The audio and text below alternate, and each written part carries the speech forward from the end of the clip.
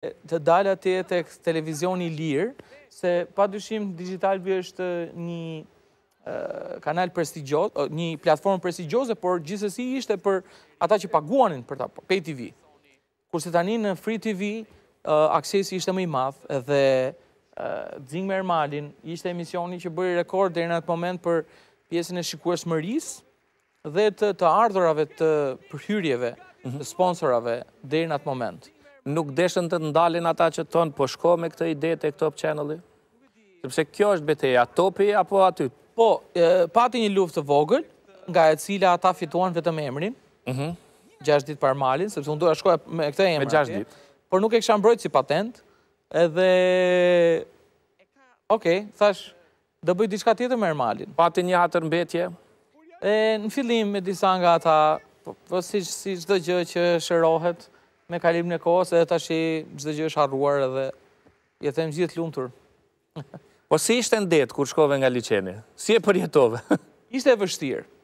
Pasi në TV Klan unë kuptova se çfarë do të thotë të bësh tamam producentin dhe t'i bësh gjërat gjitha nga fillimi. E kam pa veten hmm. ndonjëherë dhe tu mbajt karriget e të ftuarve për t'i vu n'vend, ndonjëherë tu i marr tu i ble, nuk e di, drekën ose darkën ose rekuizita të ndryshme. Orkestrës, po po, padyshim çdo gjë.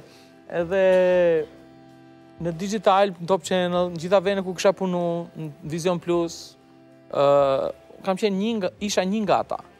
Në DigitAlb fillova të bëhesha si, ta kuptoja se çfarë do thotë production, produksion, por këtu e mora tim, timonin e madh të asaj kamionit edhe thash, ok, pashë që asnjeri nuk më ndihmonte, përkundrazi, Më thoshin, po deshe mirë, po s'deshe ik.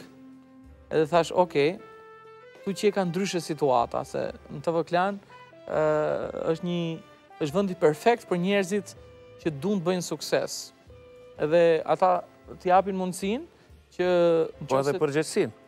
Përgjegjësia, po, dhe është gjithmonë aty dhe sa më shpejt ta kuptosh, aq më mirë është për ty.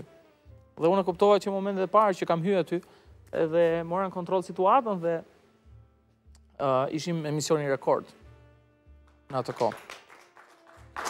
Rekord edhe përsa i takon të hyrave, apo? Kjo është një gjë shumë e rëndësishme për... Nuk thuhen shifrat, jo. Televizionin.